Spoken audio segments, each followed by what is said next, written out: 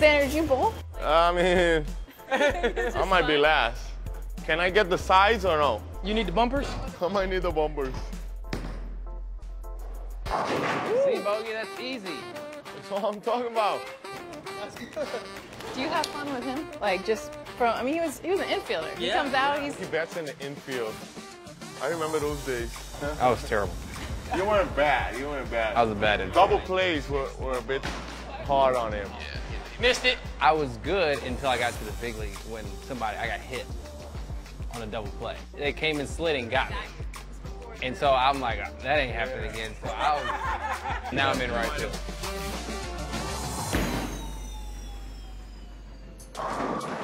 First is. one. First one. JD Martinez. What a I don't know if he can bowl like as good as like we can, but I heard he can hit. Yeah, he sure That's what they can. say. I haven't seen it yet. He's got to prove himself, right? See, that's that's what you call terrible. I mean, we just got a guy that hit 40 plus home runs and 100 RBIs. Just put him in the lineup there. And less than 120 something games. Yeah. Excited to see how everything plays out. And now you got Alex Cora. Like, Yeah. I know it's been it's early. What have you guys like sensed and like this year how it might be different? Like, Excited for him as well. I mean, he gets to come back to a city that he, he played with.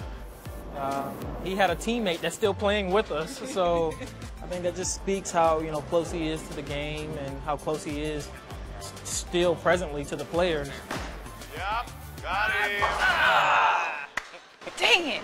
I'm probably gonna throw a strike. I don't think you're gonna throw one. Probably gonna throw a strike. If you do not bowl a strike, this frame right here, you carry my stuff tomorrow. If you do bowl a strike, I will carry your stuff tomorrow. Okay? I'm with it.